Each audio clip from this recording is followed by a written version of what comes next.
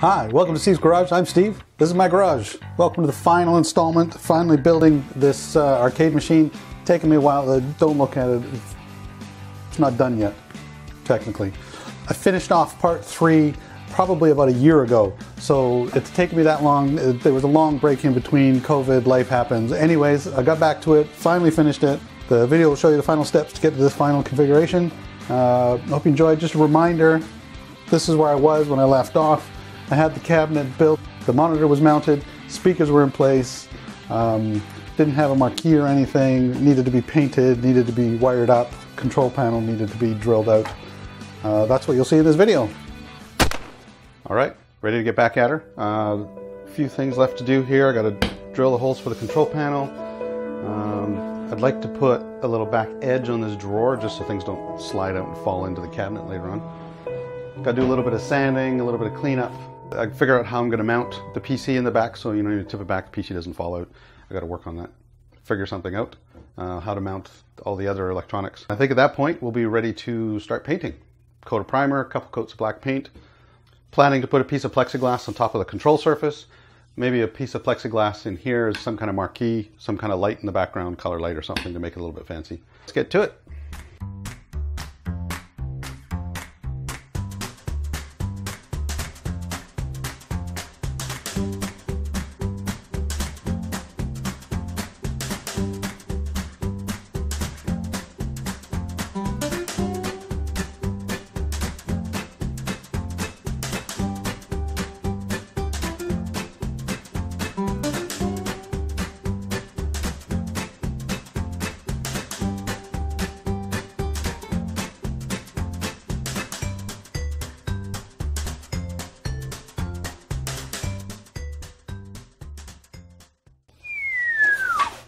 Hello. so, I added the pieces to the drawer, the back thing, and a couple more support pieces, and now I've uh, added all these brackets and whatnot to hold the PC in place. So now, it ain't gonna move. And I think I can even, well, maybe that won't work. I thought I could do this and possibly even take it out without undoing all the things, but let's just leave it in there for now. Um, I think we're good to go with the PC. Uh, this will hold it nice and solid if I need to move around the cabinet. What's next? Okay, done some cleanup sanding here and there on the edges and whatnot. Removed the monitor, got the drawer out. I'll paint that separate. I think we're ready to paint the cabinet. Let's get to it.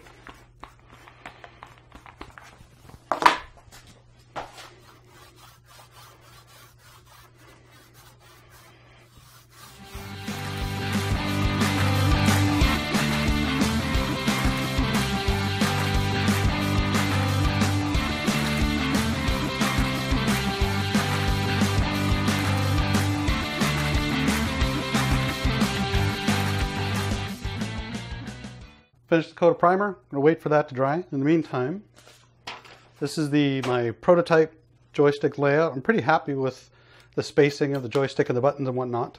However, in the final setup here, you can see I have a much smaller panel. So I'm gonna have to squeeze this in a little bit, side to side. Not too bad. I have to move those in a little bit. And front to back, I need to squeeze a little bit too. So a little bit adjustment to fit into the new panel, but I think we can do it. Let's give it a shot.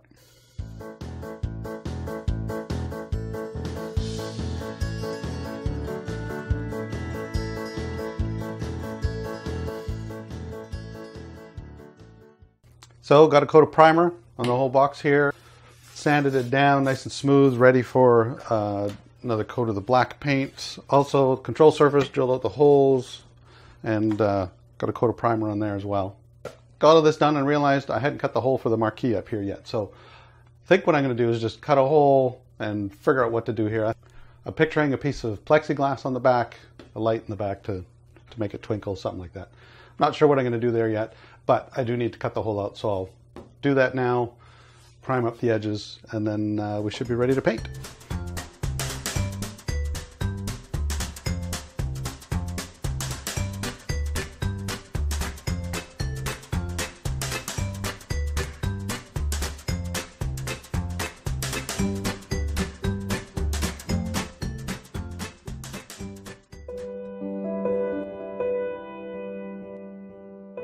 Time has passed. Last time I worked on this, it was uh, August 3rd. I looked up back in the files. Now it's uh, June 6th. Haven't done anything with this. Um, life's gotten in the way. But now, I'm back, baby! I'm back! Hi, George. I'm back, baby! I'm back!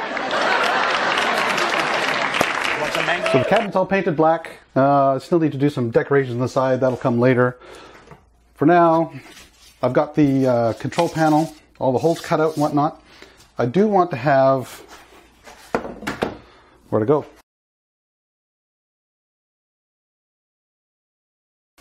I do want to put a sheet of plexiglass on top of here to help protect the playing surface because there's going to be a lot of hands and banging going on. So I got some plexiglass here. Of course, it's got this blue blue coat just peels off. Protects it in the meantime while you work with it. It's a little bit tricky to cut plexiglass without it uh, cracking on you. So what I've done here, here, uh, come on around here, you can see a bit better. So you can see the piece of plexiglass, plexiglass is in the middle, sandwiched by two pieces of old, old wood. Um, this way, as I'm cutting with the circular saw, the two pieces of wood stabilize the plexiglass and hopefully it won't uh, crack or shatter on me when I, when I cut it. I've cut this end, seemed to go fairly well. I'm to cut the two long sides and the end and uh, see how that comes along. And then we'll sandwich it with the uh, control panel and I'll drill out the holes. Let's see how it goes. Okay, I've cut all four sides. Um, we're ready to unclamp and see what we got.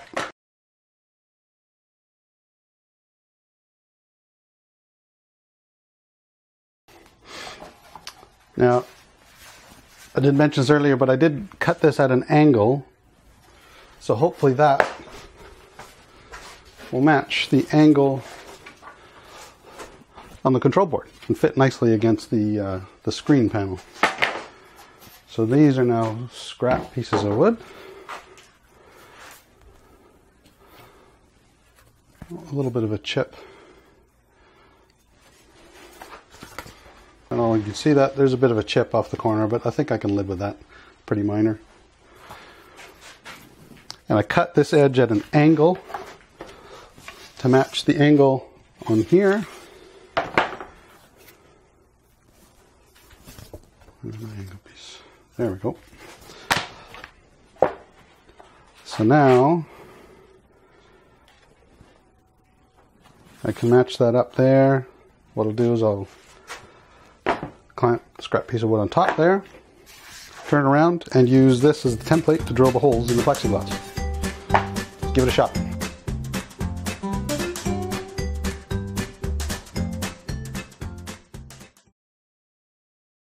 All right, drilled all the holes. Let's see what it looks like. Seemed a little bit rough when I was cutting them, but I don't have any other options at this point. Ta-da!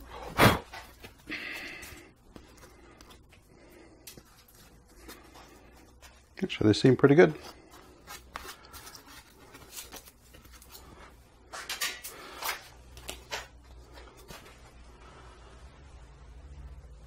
Now I just need to cut straight lines here to cut out the hole for the uh, trackball.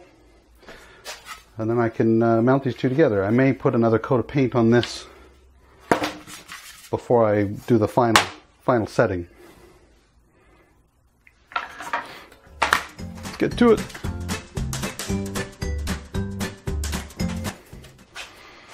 Okay, so I've cut the holes, got on here, realized I have a problem. I screwed up.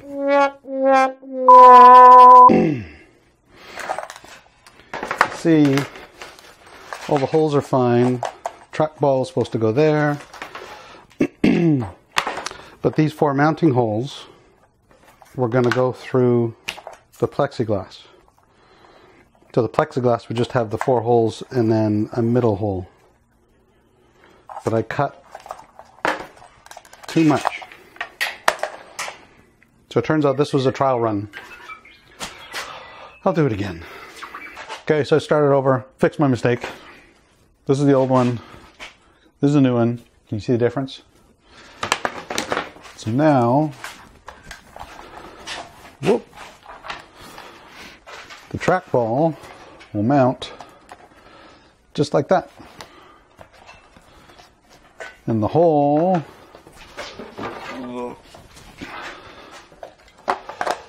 so the trackball mounts here. Oh, here, I've got to get the wires on the other side. Trackball mounts flush like that. And this will sit on top. Much better. Oh, oh, got that backwards or something's. There we go. Just like that. Beauty, ain't it?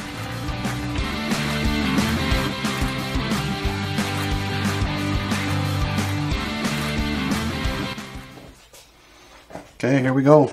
I've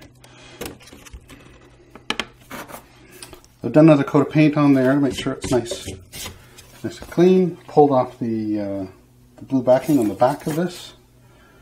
Lay it into place.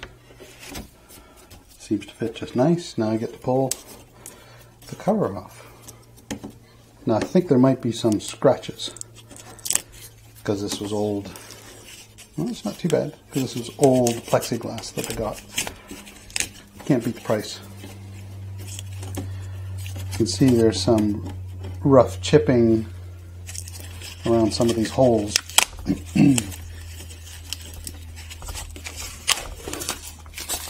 um, I'm not too worried about those because all the buttons have uh, sort of a flange that should cover that. So I think in the end you won't really notice it.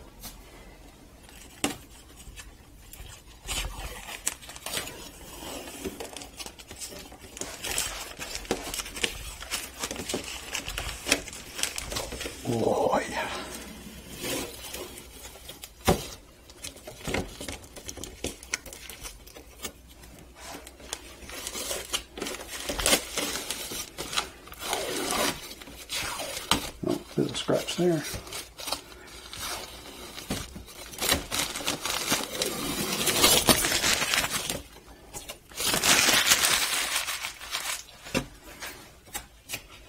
Yeah, so there's a few little chips and scratches.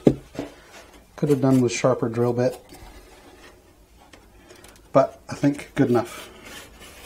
Because most of this will be be covered.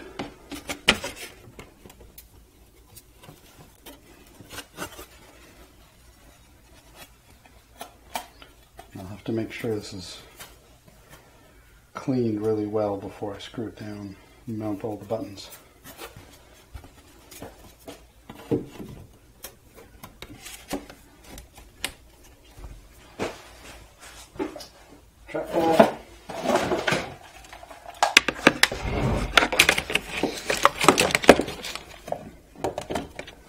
Mounted just like so.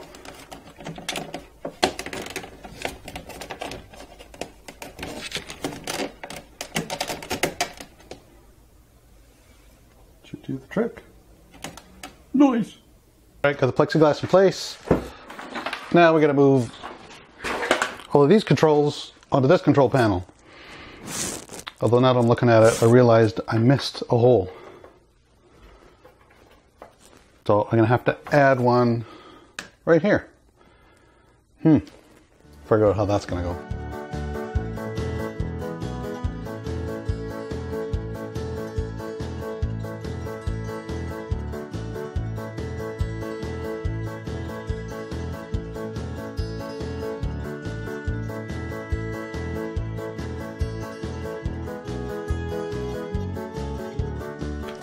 Got most of the controls mounted in here and everything seems to be working quite well. I did have a problem with the uh, spinner here. Turns out with the extra thickness of the plexiglass, the, the this doesn't extend far enough above here. It just, this goes into this little slot there, only about a millimeter. So it's enough that it locates it, but it's not enough for the set screw to work. So I had to do something about this. So I talked to my longtime friend, Michael, Yeah, I don't know about a longtime friend. Uh, we just met each other a couple months ago. and he decided he was going to help me out. Mechanical designer. Uh, Michael, why don't you take the mask off? You, we're distanced here. What's the problem? Okay, whatever you say, Steve. So Michael volunteered Vo- volunteered or, or kind of voluntold? Uh, to design me a little fix. He designed this in SolidWorks, 3D printed it. Kind of a top hat looking thing. Got a set screw. This sits down on here. Tighten the set screw. And now the knob here sits properly on top there, and there's enough there for this set screw. And we're spinning! Thanks a lot, Michael. sure, Steve. Anything for a good co-op review. It's a little wobbly. We're going to do something about that. That's better. Good to go. The other thing you can see I've been doing, trying to put a little bit of artwork on the side here. This is just a whole bunch of tape. If you're ever masking and using tape, don't cheap out on the tape. I'm using frog tape. It's not as as sticky, but there's more of the glue on the tape, so it does a much better job at uh, preventing the paint from seeping underneath the tape. So really, I've just covered this with tape. These are going to be the lines of the path. You got the dots. Still have to put the uh, the ghost in here, and then I'll start doing the painting. A Little trick for the painting that I've learned over the years: you put your tape down like this, cut everything out the way you want. First coat, you do the same color as the background. You paint black in along all the edges. If anything's going to seep underneath the tape, it's the first coat that does that. So if you paint black, anything that seeps under the tape will be black and you won't see it in the end. Then you go back over top of that with the color. In my case, I'm going to be going over with white a couple times because it's hard to paint colors over such a dark color. So paint white and then I'll do a few coats of the colors that I want. Um, and then I'll have to do a little bit extra masking for the ghost eyes and whatnot. And then we're good to go.